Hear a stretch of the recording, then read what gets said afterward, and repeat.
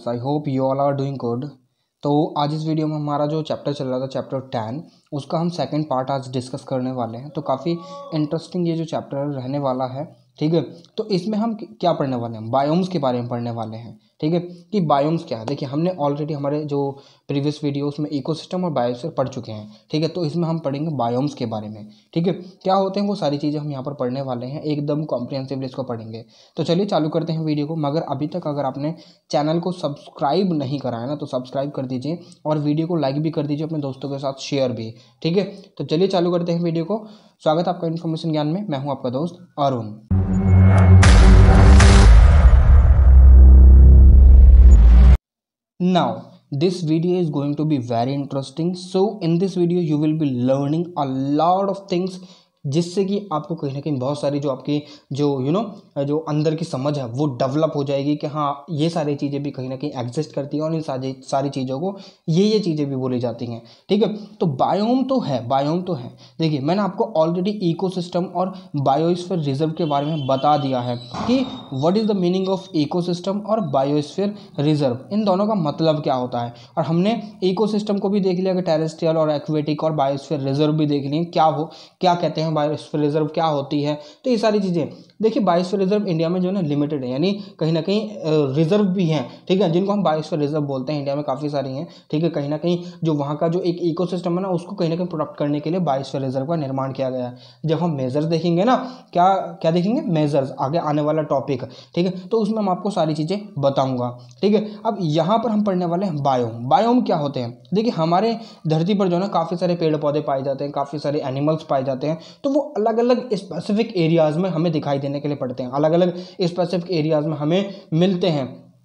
तो उनकी एक स्पेसिफिक जगह होती है, उनका एक क्लाइमेटिक रीजन होता है जहाँ पर वो मिल, मिलते हैं, यानी वो वहाँ के नेटिव होते हैं, ठीक है? तो इसीलिए इसीलिए बायोम का मतलब यही है कि ये एक तरह का मिक्सचर है, जहाँ पर प्लांट्स और एनिमल जो है ना, एक साथ, एक दूसरे के साथ इंटरेक्ट करते हैं और वो वहीं पर एक दूसरे के साथ रहते हैं, ठीक है? वो वहाँ से कहीं और नहीं मिलेंगे, क्यों? क्योंकि वो उस एनवायरमेंट के, उस क्लाइमेट के यूज़ टू हो चुके हैं, ठीक है? जैसे कि आप अगर देखेंगे कि जो कंगारू हैं, वो ऑस्ट्रेलिया में पाए जाते हैं, ठीक है? अगर ऑस्ट्रेलिया के जैसा कहीं और एनवायरनमेंट अगर डेवलप करा जाता है तो वो जो है, जो कंगारू है, वो वहाँ से रिलोकेट कर जाएँगे, वो वो उस जगह पर भी रह लेंगे, ठीक है? ऐसे ही ऐसे ही कंगारू जो है, वो खाली ऑस्ट्रेलिया में पाए जाते हैं, ठीक है? और जो आपने देखोगे पोलर बियर पोलर बियर जो है, खाली हमें पोलर एरियाज़ में देखने के लिए मिलते हैं, ठीक है? वो कहीं और सर्वाइव नहीं करते। ऐसे ही बायोम भी कुछ ऐसे ऐसे प्रकार के एनिमल के साथ साथ पेड़ भी होते हैं, चाहे फिर वो किसी भी प्रकार के पेड़ ले लीजिए जैसे कि आप अगर आप एप्पल का अगर पौधा है, यानी अगर आप अब क्या नाम है जो है,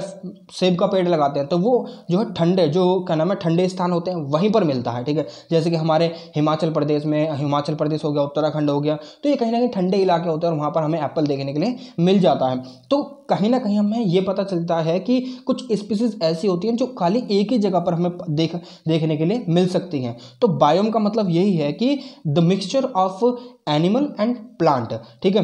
तो यहाँ पर मिक्सचर है। मिक्सचर है किसका एनिमल का और प्लांट्स का। ठीक है? तो यहाँ पर दोनों ही एक साथ जब इंटरेक्ट करते हैं ना तो एक बायोम को क्रिएट करते हैं। तो वही सारी चीज़ हम यहाँ पर पढ़ने वाले हैं। सिंपल सी डेफिनेशन जो आपकी बुक में दे रखी है it is a plant and animal community which comes under terrestrial ecosystem now what is terrestrial ecosystem मैंने आपको ऑलरेडी बता दिया कि टेरेस्ट्रियल इकोसिस्टम क्या है।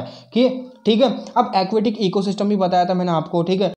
मैंने आपको बायोस्फीयर भी बताई थी, मैंने आपको ये बताया था कि biosphere it is nothing but a point where three ecosystem comes together ठीक है? कौन कौन से? लिथोस्फेयर हाइड्रोस्फेयर और एटमोस्फेयर ठीक है? फिर वो वहाँ पर बीच में आकर एक biome sorry biosphere reserve create करते हैं not biosphere reserve biosphere create करते हैं, ठीक है? ये बात आपको समझ में चलिए, मैंने और अगर ज़्यादा आपको बायोस्फीयर के बारे में जानकारी चाहिए तो आपको जो है ना प्रीवियस वीडियो देखनी पड़ेगी, ठीक है? उसमें मैंने आपको डिटेल में बताया है, ठीक है? अब यहाँ पर बायोम की दूसरी डेफिनेशन जो आपकी बुक में दे रखी है the total assemblage of plant and animal species interacting with with in an specific geographical condition like rainfall temperature humidity and soil condition जो इन सारी कंडीशन में अलग अलग जगहों पर अलग अलग जिनको कंडीशन चाहिए और ये सारी कंडीशन वहाँ पर प्रिवेल होती है लाइक रेनफॉल वाले एरिया में अलग स्पीसीज पाई जाएँगे जाएँगे जहाँ पर टेम्परेचर जो कहीं ना कहीं अफेक्ट करता है कुछ स्पीसीज को तो वहाँ पर जैसे कि कैक्टस हो गए। कैक्टस जो है वो हमें कहाँ पर देखने के लिए मिलता है? सेमी अरेड एरियाज़ में हमें देखने के लिए मिल जाते हैं। ठीक है?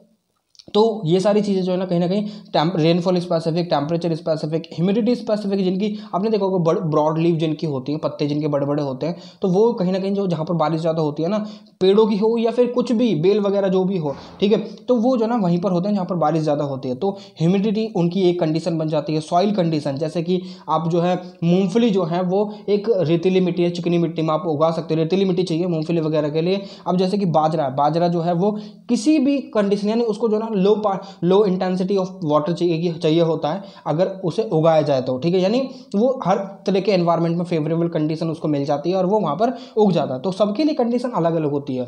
जैसे कि राइस हो गया राइस एक वाटर इंटेंसिव क्रॉप है तो राइस को अच्छा खासा पानी चाहिए उगा, उगने के लिए, ठीक है? कल्टिवेट करने के लिए। तो ऐसे ही सारी चीज़ें अलग अलग होती हैं। और बायोम जो है ना, हर अलग अलग हर जगह पाए जाते हैं। क्यों? क्योंकि क्लाइमेट जो है क्लाइमेटिक रीजन हमने पढ़ ली है ऑलरेडी कॉपन की क्लासिफिकेशन पढ़ी है हमने कि हर जगह पर हमें अलग अलग क्लाइमेटिक जो है रीजन देखने के लिए मिलते हैं। चाहे वो सब ट्रॉपिकल हो ट्रॉपिकल हो, या टेम्परेट हो, या फिर आर्टिक हो, या सब आर्टिक हो। सब आर्टिक को बोलते हैं टोंड्रा सब आर्टिक को बोलते हैं टाइगर और आर्टिक को बोलते हैं टोंड्रा ठीक है? तो ये सारे जो बायोम्स ये सारे स्पेसिफिक जो हैं स्पेसिफिकेशन ये कहीं ना कहीं हमें यही तो ज़ाहिर करते हैं कि क्लाइमेटिक रीजन जो है ना अलग अलग है और यही सारी चीज़ें जो है ना कहीं ना कहीं डिसाइड करती हैं बायोम्स को, ठीक है? और वहाँ के टाइप्स ऑफ़ वेजिटेशन किस प्रकार के वेजिटेशन वहाँ पर प्रिवेल हैं, ठीक है? अब यहाँ पर बायोम्स को डिवाइड करा गया है पाँच भागों में फॉरेस्ट ग्रासलैंड डेजर्ट और टंड्रा बायोम ठीक है? ये बात आपको समझ में आएगी? चलिए, ये पाँच जो बायोम्स हैं वो हम आप देखने वाले हैं, ठीक है? पाँच biomes biome can be divided on the following basis कौन से टेम्परेचर और ह्यूमिडिटी के बेसिस पर डिवाइड करा गया है? फॉरेस्ट एक्वेटिक ग्रास लैंड और डेजर्ट ठीक है? डेजर्ट जो कि मैंने आपको यहाँ पर बताया। ठीक है? फॉरेस्ट ग्रास लैंड डेजर्ट और एक्वेटिक वगैरह। ठीक है? ये सारी चीज़ें हम यहाँ पर देखेंगे। ठीक है? चलिए, आगे बढ़ते हैं हम। अब यहाँ पर हम बात करें फॉरेस्ट की। सबसे पहले हम फॉरेस्ट की बात करेंगे, ठीक है? फॉरेस्ट की बात करें तो देखिए फॉरेस्ट के सब टाइप कौन से हैं? इक्वेटोरियल रीजन और डेसिडियस ठीक है? अब ये सारी चीज़ें मैंने आपको ऑलरेडी बता चुका हूँ। कब, कहाँ पर? जब मैंने आपको फॉरेस्ट वाला चैप्टर पढ़ाया था, ठीक है? जब मैंने आपको एग्रीकल्चर के साथ साथ फॉरेस्ट भी पढ़ाए थे, कितने प्रकार के फॉरेस्ट पाए जाते हैं, किसमें? ह्यूमन जोग्राफी में, ठीक है? चलिए, अब यहाँ पर ट्रॉपिकल रीजन में देखिए इक्वेटोरियल रीजन में इक्वेटोरियल रीजन अब हम ए वाले को ले लेते हैं। ए वन जो है, यानी इक्वेटोरियल वाला, ठीक है? ये टेन डिग्री नॉर्थ और टेन डिग्री साउथ अब ये कौन सी जगह की बात कर रहा हूँ, दिखाता हूँ मैं आपको। देखिए, यहाँ पर ये रीजन देख रहे हैं आप? ये टेन डिग्री नॉर्थ है, ठीक है? ये टेन डिग्री साउथ है। यहाँ पर रीजन जो है, ये कहीं ना कहीं इक्वेटोरियल रीजन है, ठीक है? इक्वेटोरियल रीजन है और यहाँ पर जो ना, काफ़ी ज़्यादा वेराइटीज़ के आपको पेड़ भी मिलेंगे, यानी घनी वेराइटी देखने के लिए मिलेगी। वेराइटी तो इतनी देखने के लिए बहुत मतलब पेड़ जो ना, घने देखने के लिए मिले क्यों? क्योंकि ये जो ना इक्वेटोरियल रीजन है। और यहाँ पर साल के बारह महीने सूरज दिखता है, सूरज की किरणें पड़ती हैं, ठीक है? क्योंकि सूरज की जो शिफ्टिंग होती है, वो कहीं ना कहीं ट्वेंटी थ्री डिग्री ऊपर होती हैं और ट्वेंटी थ्री डिग्री नीचे होती हैं, यानी इसको बोलते हैं ट्रॉपिक ऑफ़ कैप्रिकॉन इसको बोलते हैं ट्रॉपिक ऑफ़ कैंसर ठीक है? तो ये बात आपको समझ में चलिए आप पीछे चलते हैं। अब यहाँ पर टेन डिग्री नॉर्थ और टेन डिग्री साउथ में आपको जो है ना ये इक्वेटोरियल वाला रीजन देखने के लिए मिल जाएगा। अब यहाँ पर मल्टी लेयर कैनोपी पाई जाती है। कि कैनोपी मतलब जो पेड़ की एक शाखा देखी हो आपने कि काफ़ी जो पेड़ होते हैं ऊपर से बिखरे हुए होते हैं, काफ़ी पेड़ जो होते हैं काफ़ी ऊपर तक चले जाते हैं लंबे लंबे चले जाते हैं। अशोक का पेड़ देखा आपने? अशोक का पेड़ एक कैनोपी यानी कैनोपी माने संक की तरह जाता है, कोन की तरह जाता है, ठीक है? तो यहाँ पर हमें काफ़ी लार्ज स्केल के ट्री देखने के लिए मिले वेराइटीज़ भी काफ़ी सारी देखने के लिए मिलती हैं। अब ये जो डेसीडियस फॉरेस्ट होते हैं, ये ये कहीं ना कहीं इतने ज़्यादा घने नहीं होते मल्टी लेयर में कैनोपी नहीं पाई जाती हैं, ठीक है? अब यहाँ पर अगर हम बात करें तो इनकी जो, ये जो रेखा है, कहाँ पर पाई जाएगी? दस डिग्री से पच्चीस डिग्री नॉर्थ और दस डिग्री से पच्चीस डिग्री साउथ में पाई जाएगी, दिखाता हूँ मैं आपको, ठीक है? ये देखिए, दस डिग्री से पच्चीस डिग्री, ये इसके बीच में, ये वाला रीज़न जो है आपको यहाँ पर ये जो दिख रहा है, ये वाला रीज़न ठीक है? ये वाला रीज़न जो है यहाँ पर ये सारी चीज़ें पाई जाती हैं। इक्वटोरियल अलग है, ठीक है? इक्वेटोरियल वाला रीजन अलग हो जाता है, ठीक है? ये देखिए, मैंने आपको खाली दिखाने के लिए बताया है, ठीक है? दिखाने के लिए ये जो ग्लोब है, मैंने आपको यहाँ पर चिपका दिया है और आपको इसमें समझा रहा हूँ, ठीक है? बस समझाने के लिए कि कहाँ कहाँ पर, ठीक है? ये एक्चुअल में सारी चीज़ें नहीं हैं, ठीक है? तो यहाँ पर हमें काफ़ी सारी जो चीज़ें हैं लेस डेंस फॉरेस्ट हमें यहाँ पर देखने के लिए मिलते हैं और यहाँ पर ट्री की जो हाइट होती है, वो मीडियम हाइट के ट्री यहाँ पर मिलते हैं, मगर वेराइटीज़ बहुत सारी होती हैं। यहाँ पर इंसेक्ट मैमल्स पाए जाते हैं बहुत सारे वैरायटीज़ में। ठीक है, चलिए, अब टेम्परेट की बात करें फॉरेस्ट फॉरेस्ट वाले एरिया टेम्परेट रीजन कौन से होते हैं? टेम्परेट और बोरेल ठीक है? ये फॉरेस्ट का सब टाइप है, ध्यान रखिएगा। ठीक है, अब मैं आपको टेम्परेट रीजन दिखाता हूँ, चलिए। ये ये देखिए, ये टेम्परेट रीजन ठीक है? ये टेम्परेट रीजन है पूरा का पूरा।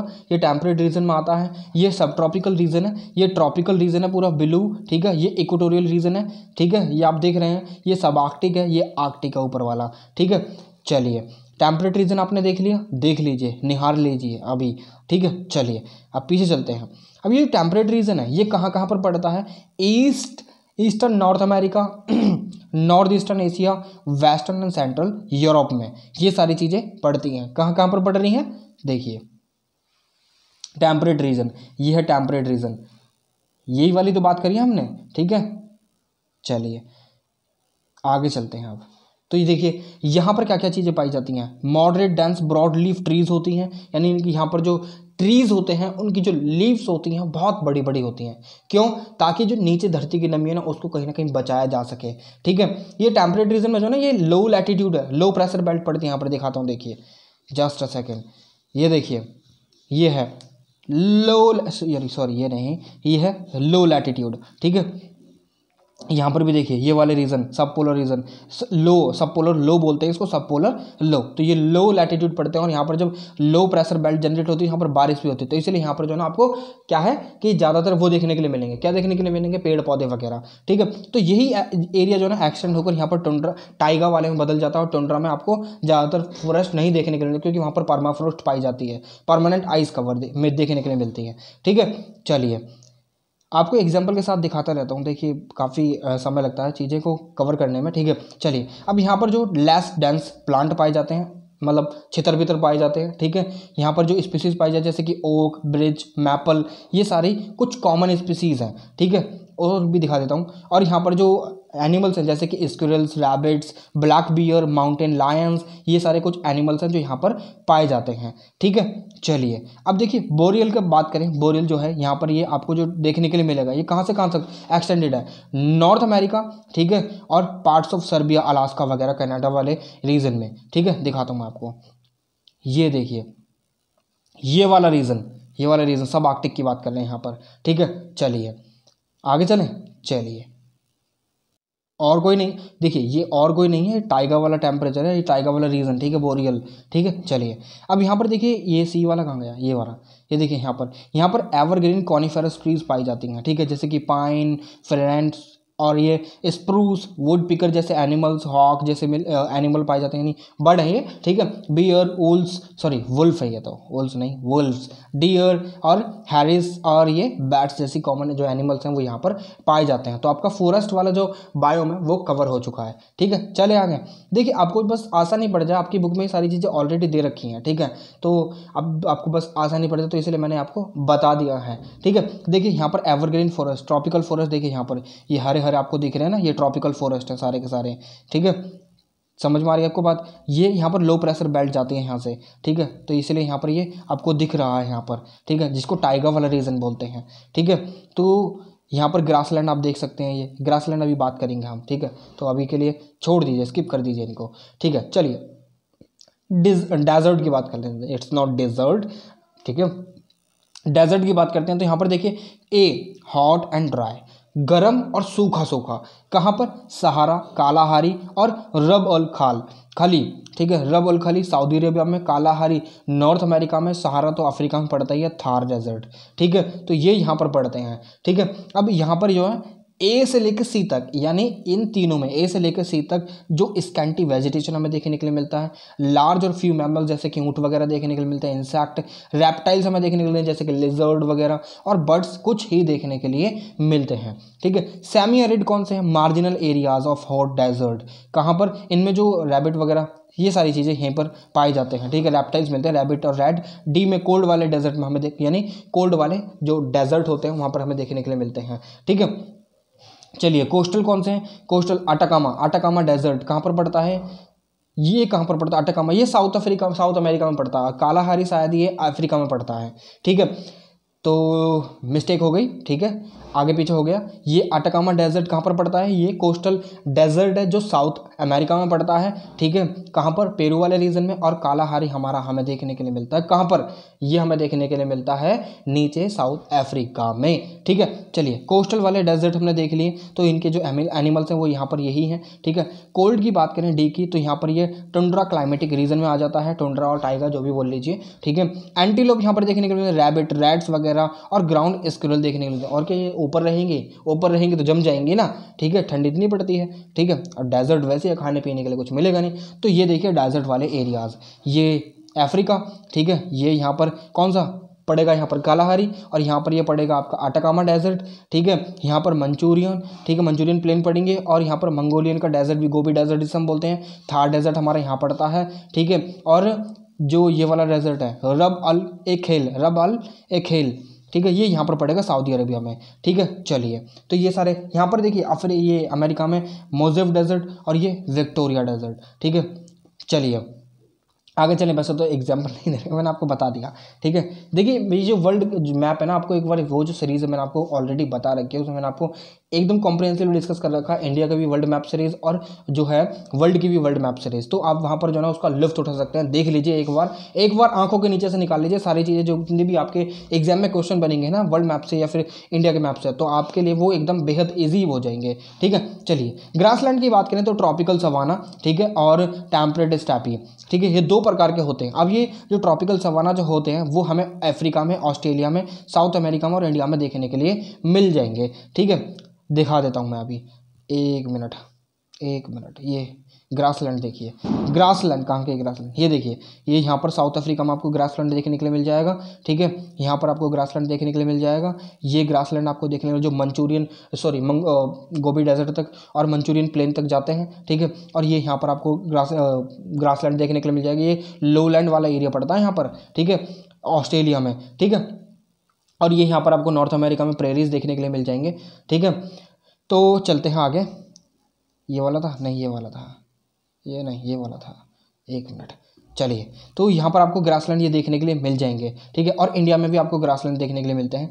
ये ग्रास में यहाँ पर जो होते हैं, यहाँ पर लार्ज शब्स पाए जाते हैं, झाड़ियाँ वगैरह, ठीक है? और ट्रीज भी देखने के लिए मिलते हैं, मगर काफ़ी छितर बितर वाले, ठीक है? जहाँ पर जो ना स्कैंटी तो होती हैं ये, ठीक है? पानी की कमी होती है तो इसलिए यहाँ पर ग्रासलैंड होते हैं। अगर यहाँ पर पानी पड़ेगा तो यहाँ पर जो ना अच्छे तरीके से फिर यहाँ पर क्या हो जाएगा कि यहाँ पर जो खेती, वो सॉरी पेड़ वगैरह उगने लग जाएँगे, मगर यहाँ पर खेती करी जाती है। असलियत में तो इन सारे ग्रासलैंड को काट कर जो ना खेती करी जा रही है, इसको जो ना ग्रैनरीज ऑफ़ द वर्ल्ड भी बोला जाता है, खासकर ऑस्ट्रेलिया में, ठीक है? तो वहाँ पर जो है काफ़ी ज़्यादा जो वीट का प्रोडक्शन है और फिर अमेरिका में भी साउथ सॉरी नॉर्थ अमेरिका में भी जो है, जो वीट का प्रोडक्शन होता है, यहाँ पर ग्रास को काटने के बाद, ठीक है? तो अब तो खैर यहाँ पर जो एनक्रोचमेंट है बहुत ज़्यादा हो चुकी है ग्रास वाले एरियाज़ में सो दैट कि जो वर्ल्ड का जो पेट है ना, उसको भरा जा सके, ठीक है? इसीलिए इनको ग्रैनरीज ऑफ़ द वर्ल्ड बोला जाता है, जहाँ पर ग्रेन उगाए जाते हैं, ठीक है? अब यहाँ पर जो पशु पक्षी या एनिमल्स कह सकते हो पाए जाते हैं। वो जिराफ हो गया zebras buffaloes leopard hyena elephants mice moles snakes worms ऐसे कुछ एनिमल जो है वो यहाँ पर पाए जाते हैं। अब स्टैबीज की बात करें तो यहाँ पर ये आपको देखने को मिलेंगे नॉर्थ अमेरिका में और यूरोप में यूरेशिया में, यानी ऊपर की साइड ठीक है? ये यहाँ यहाँ का, ये कहाँ पर थे? अफ्रीका में एस्ट्रोलिया में और साउथ अमेरिका में और इंडिया में, ठीक है? जो ट्रॉपिकल सवाना वाला क्लाइमेटिक रीजन है। ठीक है? यानी ग्रासलैंड जो है। यहाँ पर जो ग्रास ग्रासेस हैं, इन वाले एरियाज़ में, यानी यूरेशिया में और नॉर्थ अमेरिका में, ये ओकेशनल होती हैं।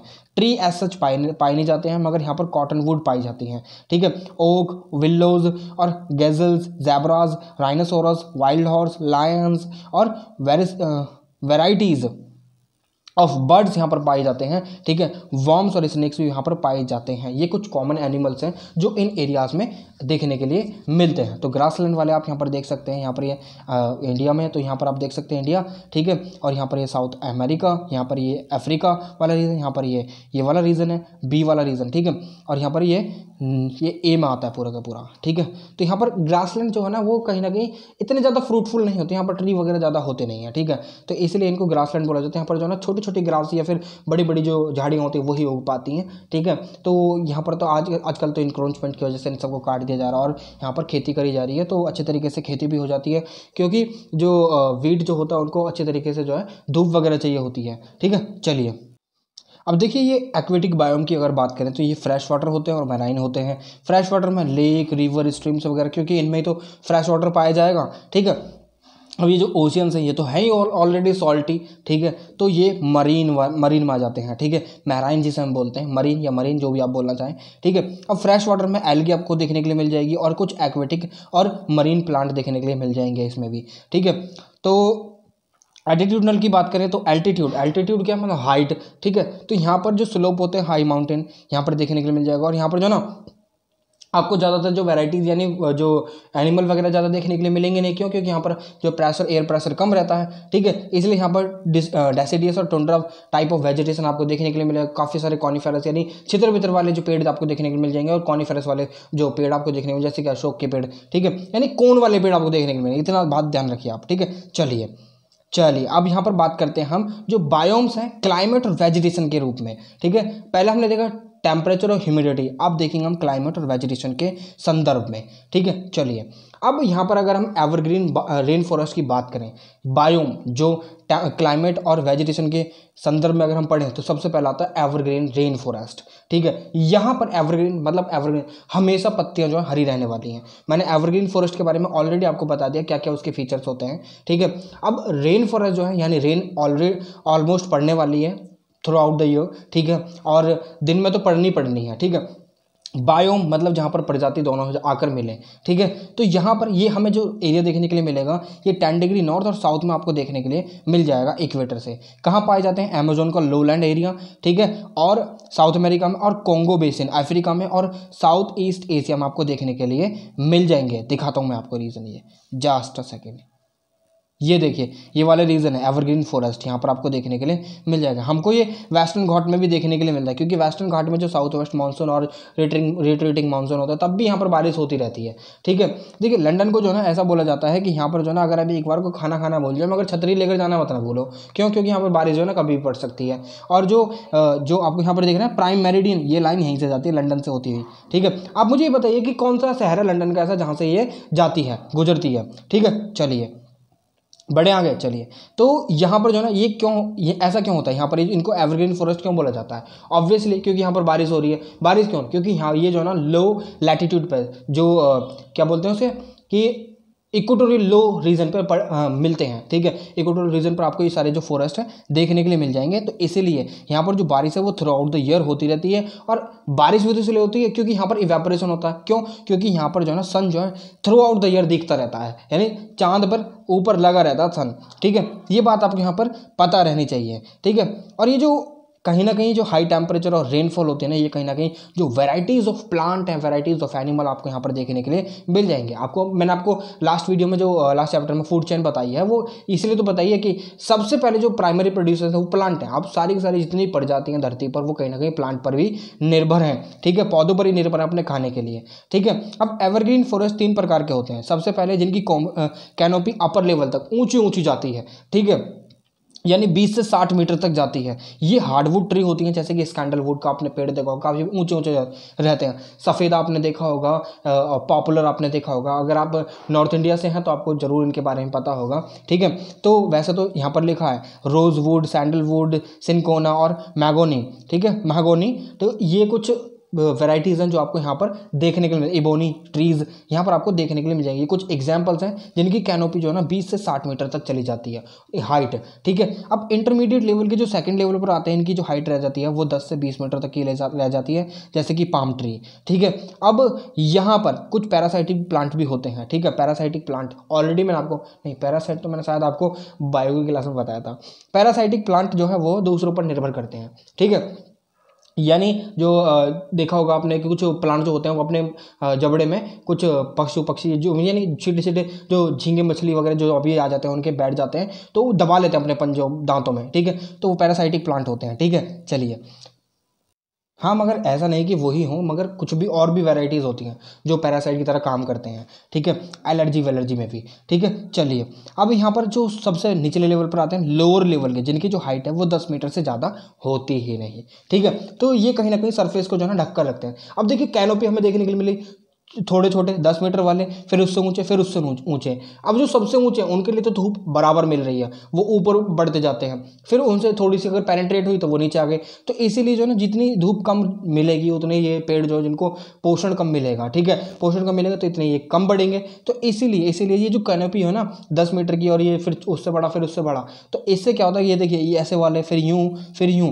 तो ये कहीं ना कहीं ढक लेते हैं, पूरी के पूरे रीजन को, पूरे के पूरे रीजन को ढक लेते हैं। अब इससे ढकने से क्या होता है कि जो नीचे की इनकी सतह होती है ना तो यहाँ पर बारिश तो होती है ऑलरेडी जब तो इनको एवरग्रीन बोला जाता है, ठीक है? बारिश होती है यहाँ पर। अब जो बारिश होती है ना, बारिश का पानी जब नीचे, पत्तों से नीचे ज़मीन पर गिर जाता है तो ज़मीन जो है ना, यहाँ पर मडी और कीचड़ वाली हो जाती है, ठीक है? मडी हो जाती है और दलदल जैसी, दलदल नुमा एक यू नो मिक्सचर आपको यहाँ पर देखने के लिए मिल जाता है ज़मीन का। तो यहाँ पर क्या होता है कि ये जो चीज़ें हैं ना यहाँ पर, ये जो चीज़ें हैं यहाँ पर, ये सूखती नहीं है। क्यों? क्योंकि जब सूरज की किरणें यहाँ पर पड़ भी रही हैं, ट्रांसपो इवेपरेशन हो रहा है ट्रांसपीरेशन हो रहा है पत्तों से, ठीक है? अब यहाँ पर पत्तों से तो हो ही रहा है, ठीक है? और समुद्र भी है, ठीक है? समुद्र भी है तो समुद्र से भी कहीं ना कहीं बारिश यहाँ पर होती है। अब इससे, इस चीज़ से क्या होता है, ठीक है? यहाँ पर देखिए कन्वेक्शनल रेनफॉल होती है, ठीक है? कन्वेक्शनल जो ट्रेडिशनल रेनफॉल है। अब यहाँ पर जो कन्वेक्शनल रेनफॉल है, वो रिस्पॉन्सिबल होती है यहाँ पर बारिश कराने का अब बारिश का पानी जब यहाँ से ये नीचे गिर जाता है ना तो ज़मीन पर ही रह जाता है। यहाँ से ये सूखता नहीं है। यानी सूरज की किरणें जब नीचे ही नहीं आ रही,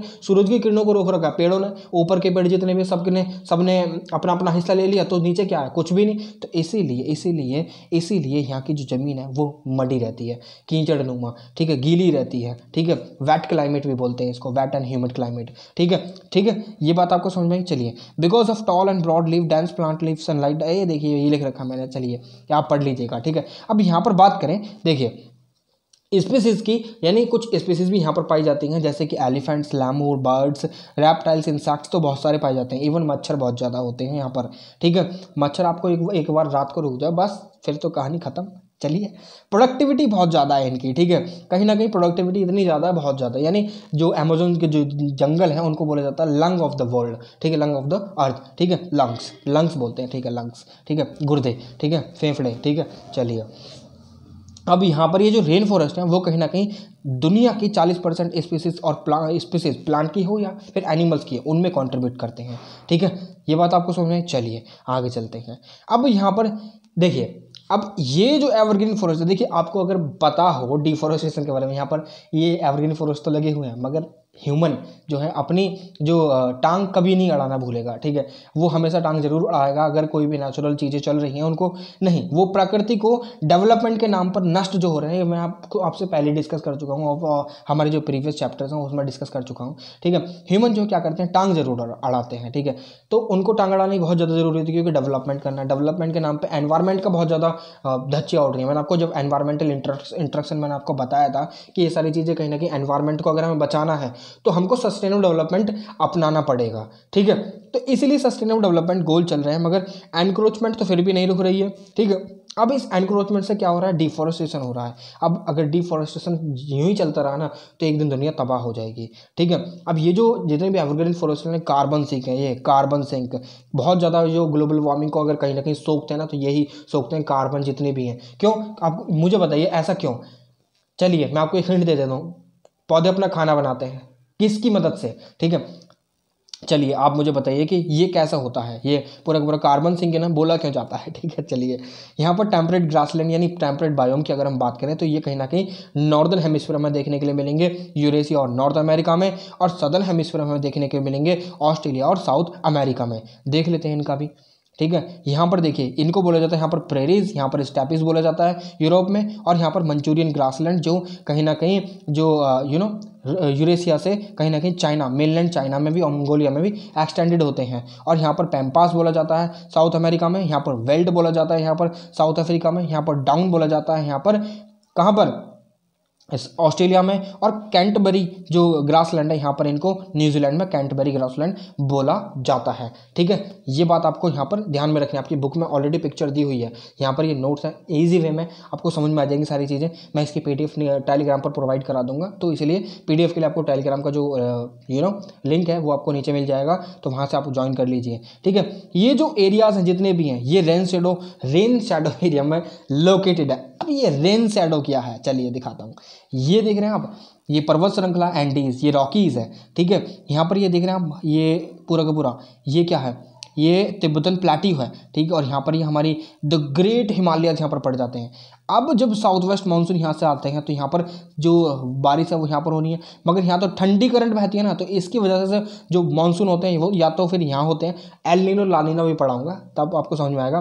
तो या फिर वो यहाँ होते हैं। अगर यहाँ हो रहे हैं तो यहाँ का मानसून हमें यहाँ पर देखने के लिए मिलते हैं और इंडिया में अच्छे मानसून होते हैं। ठीक है? तो यहाँ पर पीछे वाले जो एरियाज़ हैं ना, पीछे वाले जो एरियाज़ हैं तो यहाँ पर जो ना आपको ये सारे के सारे ग्रासलैंड देखने के लिए मिल जाएँगे। वो क्यों? वो क्यों? क्योंकि ये रेन शेडो एरिया अगर ये पहाड़ है तो ये ये है रेन वाला एरिया ठीक है? अब जब पहाड़ यहाँ पर बादल है। मानकर चलिए ये पूरा का पूरा एरिया है। यहाँ से बादल बना ह्यूमिडिटी ली और ऊपर उड़ गया। मगर ये भारी है तो ज़्यादा ऊपर उड़ नहीं उड़ नहीं सकता। जब ये इससे टकराएगा तो यहीं बारिश कर देगा। ठीक है? इसको बोलते हैं ओरोग्राफिक रेनफॉल जब ये ऊपर जाएगा जब ये हल्का हो जाएगा बारिश पानी नीचे बहा दिया अब बादल हो गया हल्का इसमें कम ह्यूमिडिटी बची। जब ये यहाँ गया तो यहाँ पर कंडेंसेशन हो गई ऊपर जाकर। कंडेंसेशन हो गई तो यहाँ पर ये बारिश कर देगा थोड़ी बहुत जितनी भी होगी। अब जितना पानी यहाँ पर मिल, मिल चुका है इस जगह पर मिला है क्या उतना पानी यहाँ पर मिल जाएगा? नहीं। तो इसलिए हमें यहाँ पर जो वेस्टर्न एरियाज़ में ज़्यादातर हमें जो यू नो ग्रासलैंड यानी जो पेड़ वगैरह ज़्यादा देखने के लिए मिलते हैं। जैसे कि हमारे वेस्टर्न घाट में, ठीक है इंडिया में, ठीक है, और यहाँ पर ये पर्वत श्रृंखला भी है तो यहाँ पर जितनी भी बारिश होती है, यहीं हो जाती है, ठीक है टकरा कर मानसून बादलों की। अब यहाँ पर पीछे कुछ नहीं जा पाता, जितना भी जा पाता, कुछ नहीं जा पाता, ठीक है। जितना भी जा पाता, उससे क्या होता है कि घास उगने लायक पानी पहुँच जाता है तो यहाँ पर घास ही उग पाती है। बड़े बड़े मैदान घास ही मैदान देखने के लिए मिलते हैं, ठीक है। और ये वाला जो रीज़न है ना, ये इक्वेटोरियल रीज़न है, ठीक है? ये इक्वेटोरियल रीजन इसकी बात नहीं कर रहा हूँ मैं, ठीक है? मैं किसकी बात कर रहा हूँ? मैं इस वाले रीज़न की बात कर रहा हूँ, ठीक है? ये इस वाले रीज़न की बात कर रहा हूँ, ठीक है? तो इसलिए आपको जो जो मैदान देखने के लिए मिलेंगे, चाहे वो प्रेरीज प्रेरीज हों या फिर पैम्पास हों, या फिर डाउन हो, या फिर वेल्ड हो, या फिर यहाँ पर आपको स्टैपीज देखने के लिए मिले, या फिर यहाँ पर मंचूरियन मिले, या फिर यहाँ पर कैंटबरी देखने के लिए मिले। तो ये सारे ग्रासलैंड आपको इसलिए यहाँ पर देखने के लिए मिलते हैं माउंटेन की वजह से, क्योंकि ये रेन शेडो एरिया में आते हैं। रेन रेन यह मतलब यहाँ पर रेन ज़्यादा नहीं होती है, ठीक है? आपको टेम्परेट ग्रासलैंड की बात कर रहे हैं, यहाँ पर ये टेम्परेट ग्रासलैंड है, ध्यान रखिएगा टेम्परेट रीजन है। कौन सा वाला रीजन टेम्परेट रीजन ये वाला रीजन टेम्परेट रीजन ठीक है? ये वाला टेम्परेट रीजन इसलिए आपको यहाँ पर देखने के लिए मिलेंगे ये वाले, ठीक है? ग्रासलैंड जो है, यहाँ पर देखने के लिए मिलेंगे, ठीक है? चलिए, चले आप आगे, चलो फिर। समझाना बहुत आसान पड़ जाता है इन मैप्स की वजह से, चलिए। वैसे भी आपको समझ में आना चाहिए, बाकी ये चीज़ें साइड में रख दो। अब देखिए ग्रासलैंड जो है नेमली यानी अलग अलग नाम से इनको पुकारा जाता है। यूरेशिया में स्टैपिस बोला जाता है, ठीक है? जो चाइना तक जाते हैं मंचूरियन ठीक है? मंचूरिया तक। अब यहाँ पर नॉर्थ अमेरिका में इनको बोला जाता है प्रेरीज साउथ अमेरिका में इनको बोला जाता है पैम्पाज ठीक है? और अफ्रीका में वेल्ट और चाइना ऑस्ट्रेलिया में डाउन और न्यूजीलैंड में कैंटबेरी ग्रासलैंड ठीक है? चलें आगे, चलिए। अब यहाँ पर बात करें जो टेम्परेट रीजन है, इनमें बहुत ही ज़्यादा वेरी लेस प्रेसिपिटेशन होता है, जो मैंने आपको अभी बता दिया है। और इसलिए यहाँ पर जो ना ट्री उग नहीं पाते हैं, इसलिए यहाँ पर ग्रासेस उग पाती हैं, ठीक है? अब यहाँ पर जो एनिमल्स पाए जाते हैं antelopes horses wolves kangaroo emu wild ass wild dogs etcetera बहुत सारे एनिमल यहाँ पर पाए जाते हैं। मगर इन ग्रासलैंड को भी आज के सम जमाने में, आज के समय में जो काट काट कर क्या कर दिया जा रहा है? इन ग्रासलैंड को क्या करा जा रहा है? क्या करा जा रहा है? ऑब्वियसली ऑब्वियसली आप सही समझे, आप सही समझे कि इन ग्रासलैंड को काट कर जो है ना, क्या बनाया जा रहा है यहाँ पर? यहाँ पर आप गेहूँ उगाए जा रहे हैं, ठीक है? इसलिए इनको जो है ना ग्रैनरीज ऑफ़ द वर्ल्ड भी बोला जाता है। जो ग्रासलैंड बायो मैंने आपको बताया ना, वो यही है, ठीक है? चलिए तो अब आगे बढ़ते हैं, ठीक है? अनदर मेजर एक्टिविटी पैस्ट्रोलिज्म घास ज़्यादा है तो पैस्ट्रोलिज्म तो आसानी से हो जाएगा, यानी भेड़ बकरी चलाने वाले, ठीक है? भेड़ बकरियाँ मैमने एनिमल जो है, अच्छे से चलाए जा सकते हैं। डोमेस्टिकेशन जो एनिमल्स हैं, यहाँ पर ज़्यादा होते हैं। देखिए, जो यहाँ पर आपको देखने के लिए मिलेगा, ये न्यूजीलैंड। न्यूजीलैंड में कैंटबरी ग्रासलैंड पाई जाती है। इसलिए यहाँ पर जो है ना, जो एनिमल हस्बेंड्री है, बहुत ज़्यादा जो एक बिज़नेस है ना, वो फल फूल रहा है यहाँ पर एनिमल हस्बेंड्री ठीक है? इसलिए ऑस्ट्रेलिया में आपको ये सारे जो बिज़नेस देखने के लिए मिल जाएँगे। ठीक है? क्यों क्योंकि यहाँ पर जो ग्रासलैंड है, ये कहीं ना कहीं जो जहाँ यहाँ पर चारा ऑलरेडी उपलब्ध है, ठीक है? तो यहाँ पर जब चारा ऑलरेडी उपलब्ध है तो भेड़ बकरी हो गई या फिर जो एनिमल को यू नो पालने में क्या जाता है? कुछ नहीं जाता तो इसलिए यहाँ पर आसानी से एनिमल को पाला जा सकता है पैस्टोरलिज्म करा जा सकता है, ठीक है? टंड्रा बायाम की बात करते हैं आप, ये कहाँ पर लोकेटेड है? ये लोकेटेड है northern part of north America में इंक्लूडिंग अलास्का कनाडा, ग्रीनलैंड, ठीक है? और कुछ रीजन रशिया के भी। इनको कोल्ड डेजर्ट भी बोला जाता है, ठीक है? Cold desert of the world, Gobi desert, कभी नहीं बोलना। यहाँ पर ग्रासेस मॉजेस लाइकन्स जैसे चीज़ें पाई जाती हैं। लाइकन्स क्या है? एक छोटे छोटे यू नो माइक्रो ऑर्गेनिजम्स होते हैं ये, ठीक है? अब यहाँ पर जो प्रोडक्टिविटी है, इनकी बहुत ज़्यादा लो होती है, क्योंकि यहाँ पर जो है ना सोलर एनर्जी इतनी पहुँच नहीं पाती है, ठीक है? तो इसलिए यहाँ पर जो है ना, कुछ ज़्यादा अच्छी चीज़ें पाई भी नहीं जाती हैं। परमाफ्रोस्ट आपको आइस कैप देखने के लिए मिल जाएँगे, ठीक है?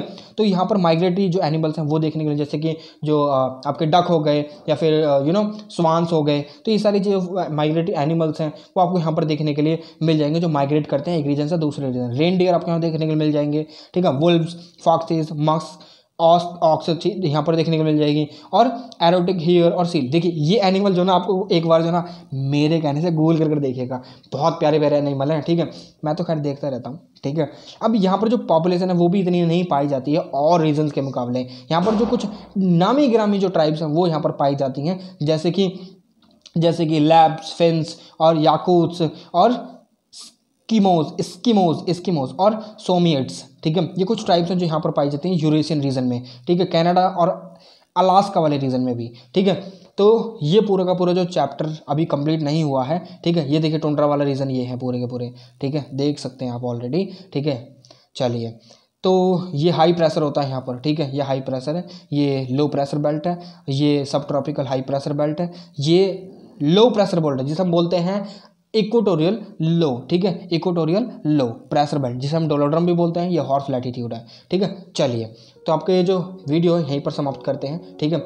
आपसे फिर से मुलाकात होगी। अब कुछ हम मेज़र देखेंगे क्या क्या मेज़र्स हैं कि हम बायोन्स को बचा सकते हैं, या फिर कौन कौन से ऐसे हमारे इंडिया में मेज़र्स लिए गए हैं, या इंटरनेशनल लेवल पर कौन से हैं, ठीक है? वो सारी चीज़ें हम पढ़ने वाले हैं हमारी नेक्स्ट वीडियो में। तो चलिए, अभी फ़िलहाल के तो इस वीडियो में इतना ही। आपसे फिर से मिलेंगे एक और नई वीडियो में, एक और नई इन्फॉर्मेशन के साथ। मगर अभी तक अगर आपने चैनल को सब्सक्राइब नहीं करा है then do hit the subscribe button और अपने दोस्तों के साथ भी शेयर कीजिए और और वीडियो को लाइक कीजिए। तो चलिए मिलते हैं एक और नई वीडियो में, एक और नई इन्फॉर्मेशन के साथ तब तक के लिए विदा लेने जाऊँगा। जय हिंद।